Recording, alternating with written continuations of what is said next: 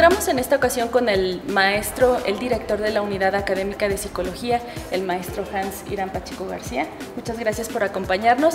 En esta ocasión nos hablará de los CIS, de los Centros de Intervención de, y Servicios Psicológicos de la Universidad Autónoma de Zacatecas. Maestro, por favor, háblenos un poco de estos centros, por favor. Muchas gracias. Pues tomando en cuenta que la vinculación es una de las tareas sustantivas de la universidad, la Unidad Académica de Psicología cuenta como su proyecto más importante precisamente de vinculación con los centros de intervención y servicios psicológicos. Contamos con 12 centros de intervención y servicios psicológicos CIS ubicados en 8 municipios diferentes. Cabe mencionar que cuatro están precisamente en la capital, uno en Guadalupe y otro en diferentes otros municipios. Perfecto.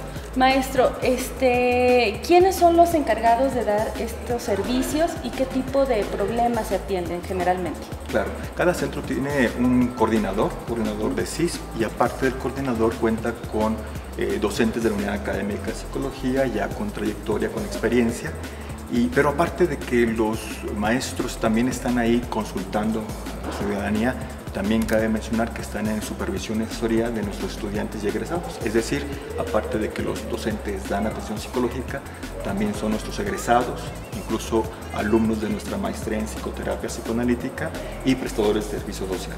Claro. Eh, para la Universidad Autónoma de Zacatecas, ¿cuál ha sido el beneficio? Me parece que el beneficio no solamente es para la sociedad, sino también, por supuesto, para los universitarios.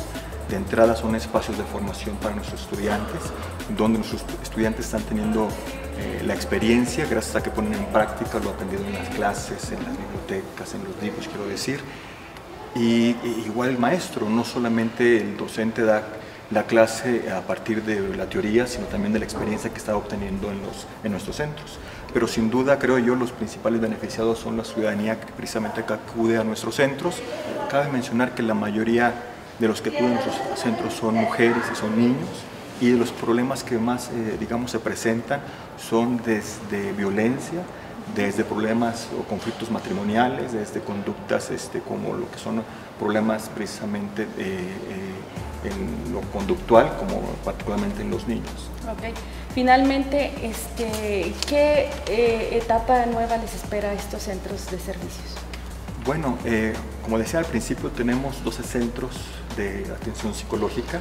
Eh, contamos, decía, algunos en los municipios como es Aposol, Fresnillo, Jalpa, en Juan Aldama, Ojo Caliente y Río Grande.